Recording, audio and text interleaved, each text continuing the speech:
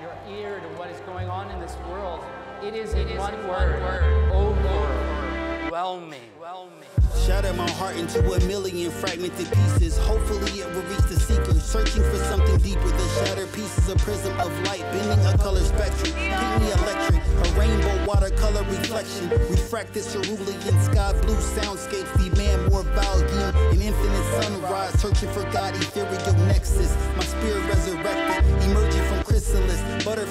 Regenerated, a burden so weighted by sin. Beautiful gems planted in my subconscious. A grace that can transform monsters. Rebellious creatures bent toward evil, deceive people. Listen to serpents and turn apples into apple pie. Our bellies full from lies, a wayward soul satisfied until that soul dies. Consuming vomit, rebelling against the promise.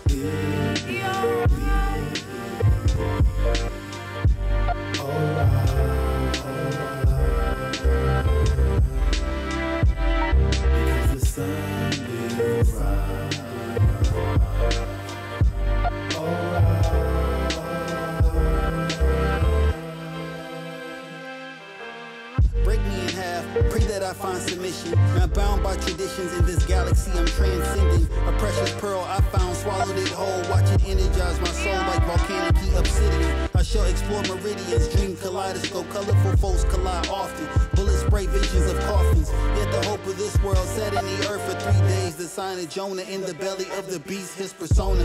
The God man who came and got man, a rescue operation. His sovereign plan of salvation to save many. This is the hope that we hold on to. Peace and love to all mankind. Peace to my brothers. Peace to all my sisters. The weight of depression rests on our shoulders.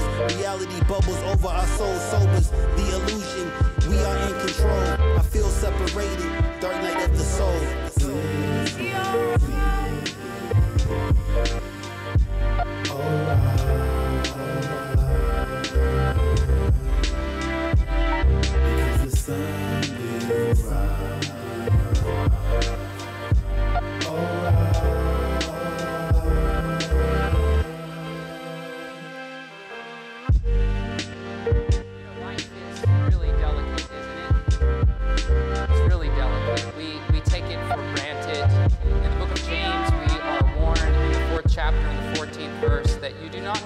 Life will be like tomorrow. You are just a vapor that appears for a little while and then vanishes away.